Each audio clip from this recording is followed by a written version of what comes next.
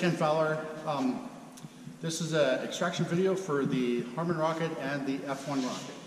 This aircraft is an all-metal aircraft. It weighs about 1,150 pounds, probably about 1,400 pounds with me and fuel and, and smoke oil in it. So if the aircraft does end up in its back, it can be flipped over by three, four guys for sure can, can, open, can uh, pick it up and put it on wheels again.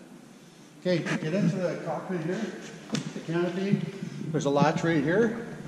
Just push the latch down, lift the canopy up, and it'll tip open. Okay, if the aircraft does end up on its back, I cannot get out. I will not be able to open the canopy, so I will need help getting out of the airplane.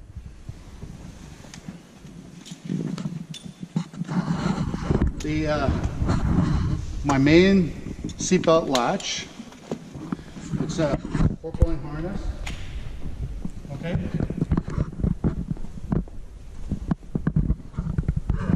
It's a four-point harness.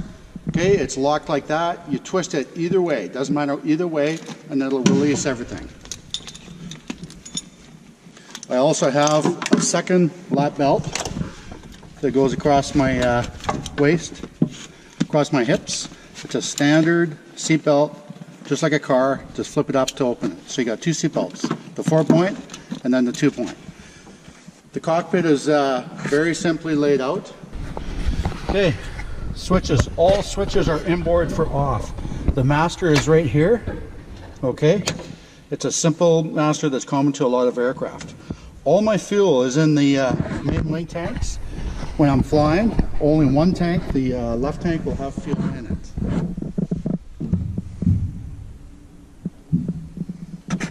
Okay, the fuel selector. Left, right, and off.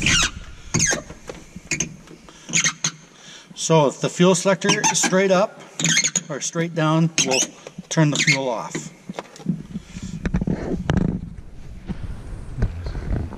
I do have a fire extinguisher on the left hand side of the cockpit.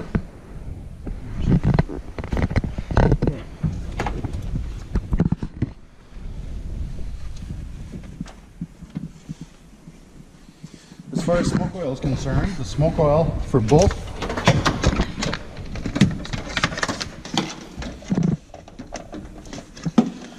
smoke oil for both the, the rocket, the Harmon rocket and the F1 rocket are in the baggage compartment, and this is how it's filled up, is right through here.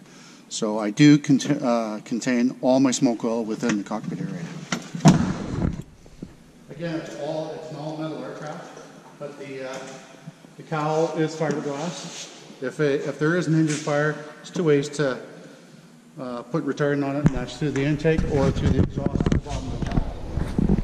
The batteries in the baggage compartment located right about here on the left side of the baggage compartment. It's covered over just behind the uh, smoke oil tank. It's a standard uh, 680 Odyssey battery, um, and it is very well secured. It's what's considered a gel cell, so if the airplane is upside down, there's not going to be any acid spilling. Between the Harmon rocket and the F1 rocket, the F1 rocket has a slightly different uh, seat belt. It's just a standard over center latch belt. It opens like that.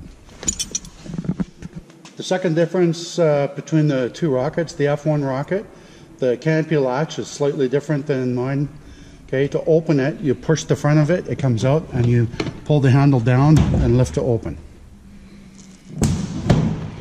Those are the two differences on the on the rocket, the seat belt and the canopy.